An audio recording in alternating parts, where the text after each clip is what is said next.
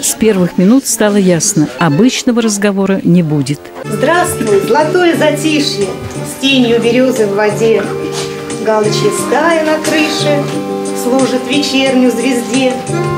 Где-то за садом, не смело, там, где калина цветет, Нежная девушка в белом нежную песню поет.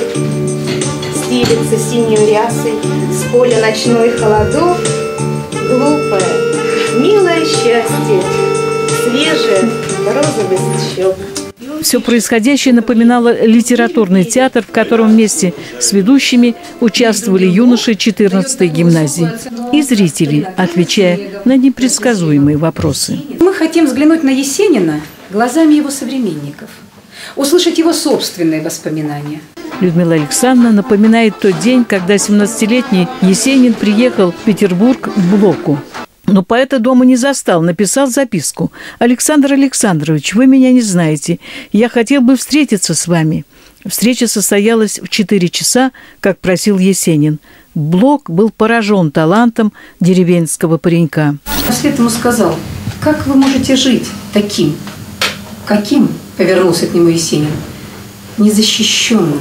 Блок пишет рекомендательное письмо издателям, и очень скоро появляется первая книга стихов «Радуница». И он пишет в это время «Уверю, верю, счастье есть». Но мало кто знает о таком факте. И трагедия это в том, что первое письмо Блока мы все знаем, а вот второе редко кто знает. Когда Блок отказал Сергею Александровичу во второй попытке прийти к нему, это была трагедия для Есенина, когда Блок написал Сергей Александрович, ведь э, то, что, то, о чем вы пишете, об этом-то мне и подумать страшно. Это было второе письмо Блока. Не все так просто было в жизни Есенина. И сегодня, утверждает Валерий Федорович, есть талантливые поэты. Беда в том, что многие разучились слышать и слушать, а само слово «поэт» отсутствует в списке профессий. Есенин особым образом относился к слову. Он говорил, что поэзия общается с нами на невербальном уровне, то есть не со словами, а с чем-то таким особенным, что в настоящих словах кроется и что как бы как энергия считывается нами э, вот из этих стихов.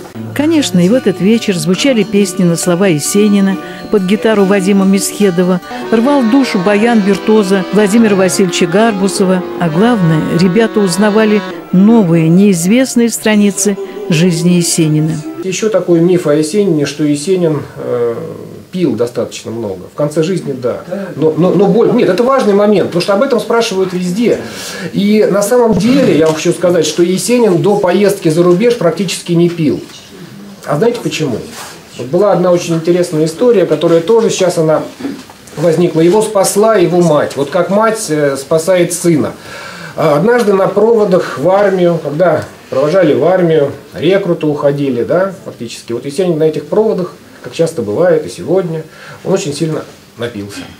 И напился до беспамятства. И все уже думали, что он просто умрет. И не было в России бы у нас вот такого поэта. Да? Вот это был как раз совсем юный Есенин. И что же сделала его мама? Вот как вы думаете? Как она его спасла? Вот как в деревне спасали в то время. Тоже интересный штрих. Она его затащила в избу сама практически, положила на лавку и стала бить его колотушкой по пяткам.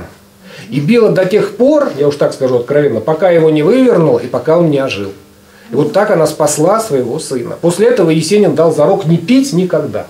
3 октября этого года, когда Сергею Александровичу исполнилось бы 115 лет, на его могиле побывал Николай Оболонский.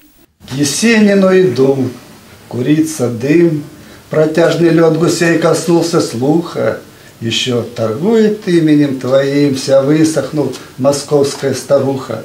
Как по реке весной плывущий сток, поэт, пришедший мир пытать любовью, лежит в земле ногами на восток.